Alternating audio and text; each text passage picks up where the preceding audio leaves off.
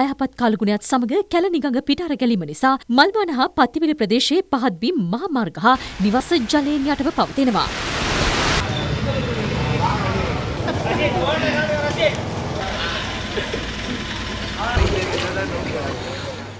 දිවෙනට බලපා ඇති වැසි සහිත කාලකුණික තත්ත්වයක් සමග ප්‍රදේශ කිහිපයක සුළු ගං වතුර තත්ත්වයක් ඇතිව තිබෙනවා. වාරිමාර්ග දෙපාර්තමේන්තුව සඳහන් කළේ කැලණි, කළු, ගින්, නිල්වලා, මහවැලි යන ගංගාවල සහ මහ ඔය සහ අත්තනගලු ඔයේ ජල මට්ටම මෙවන විට ඉහළ ගොස් ඇති බවයි.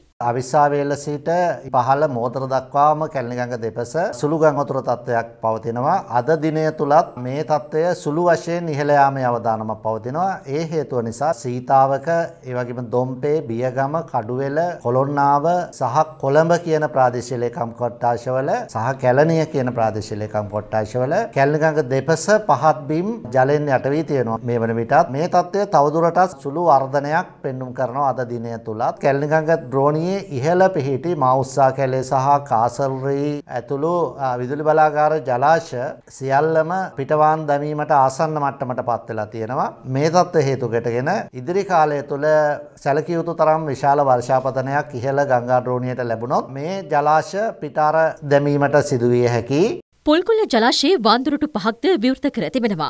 එමගින් තත්පරයට ගන් අඩි 7500ක් ජලය මුදා හැරෙන බැවින් ජලාශයේ පහළ කොටස භාවිත කරන ජනතාව ඒ පිළිබඳ අවධානයෙන් සිටින්නයි ඉල්ලීමක්ද කරනවා.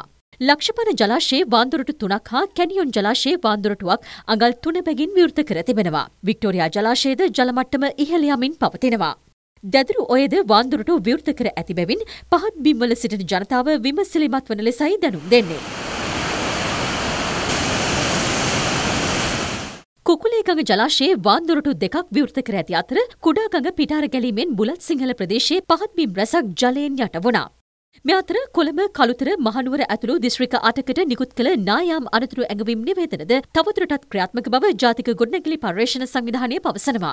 මහනෝ දිස්ත්‍රික්කයේ උඩුනුවර ප්‍රාදේශීය ලේකම් කොට්ටාසයටත් කෑගල්ල දිස්ත්‍රික්කයේ රඹුක්කන කෑගල්ල රුවන්වැල්ල යටියන්තොට බුලත් කොහුපිටිය සහ මාවනලෙන් ප්‍රාදේශීය ලේකම් කොට්ටාස වලටත් කුරුණෑගල දිස්ත්‍රික්කයේ මල්ලෝපිට ප්‍රාදේශීය ලේකම් කොට්ටාසයටත් නුවරඑළිය දිස්ත්‍රික්කයේ අඹගමු කෝරළේ ප්‍රාදේශීය ලේකම් කොට්ටාසයටත් රත්නපුර දිස්ත්‍රික්කයේ කුරුවිට හා කලවාණෙන් ප්‍රාදේශීය ලේකම් කොට්ටාස වලටත් ඉවත් වීමේ රතු නිවේදන නිකුත් කරන ලැබුවා. කොළඹ දිස්ත්‍රික්කයේ සීතාවක සහ පාදුක්කන් ප්‍රාදේශීය ලේකම් කොට්ටාස වලටත් කල්තර දිස්ත්‍රික්කයේ ඉංගිරිය පාලින්ද නුවර සහ බුලත් සිංහලයන් ප්‍රාදේශීය ලේකම් කොට්ටාස වලටත් මහනෝ දිස්ත්‍රික්කයේ පහත හේවාහැට පූජා පිටිය හාරිස්පත්තුව ගඟවට කෝරළේ සහ පහත දුම්බරයන් ප්‍රාදේශීය ලේකම් කොට්ටාස වලටත් කෑගල්ල දිස්ත්‍රික්කයේ වරකපොළ දෙහිවවිට දරණේගල ගලිගමු සහ අරණාගම ප්‍රාදේශීය ලේකම් කොට්ටාස වලටත් මාතලේ දිස්ත්‍රික්කයේ උකුල ප්‍රාදේශීය ලේකම් කොට්ටාසයටත් රත්නපුර දිස්ත්‍රික්කයේ රත්නපුර ඇහැලියගොඩ නිවිතිගල සහ හැලපාතයන් ප්‍රාදේශීය ලේකම් කොට්ටාස වලටත් අවධානය සිටින නිවේදන නිකුත් කරන ලැබුවා. කළුතර දිස්ත්‍රික්කයේ අගලවත සහ දොඩංගොඩෙන් ප්‍රාදේශීය ලේකම් කොට්ටාස වලටත් මහනුවර දිස්ත්‍රික්කයේ දෙල්තොට උඩ පළාත සහ ගංගහිල කෝරළෙන් ප්‍රාදේශීය ලේකම් කොට්ටාස වලටත් කුරුණෑගල දිස්ත්‍රික්කයේ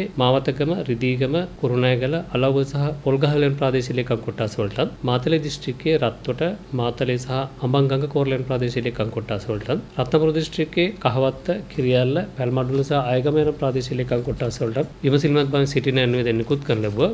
ගුරුකුඩු ඔය සහ රිටිකහ ඔය පිටාර ගැලීමෙන් කෑගල්ල අවිස්සාවෙල්ල මාර්ගය කණන්තොට අඟුරුවැල්ල රුවන්වැල්ල ඇතුළු ප්‍රදේශ කිහිපයකින් ජලයෙන් යටව පවතිනවා.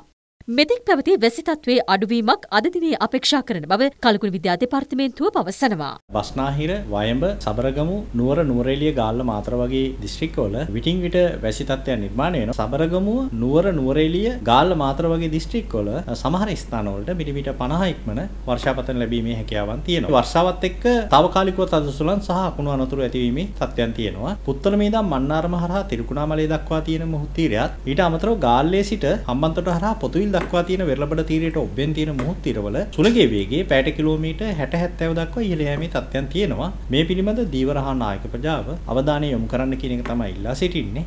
සැප්තැම්බර් 9 10 වගේ වෙනකොට වර්ෂාපතනයේ ක්‍රමක්‍රමයෙන් අඩුවීමක් තමයි අපි අපේක්ෂා කරන්නේ.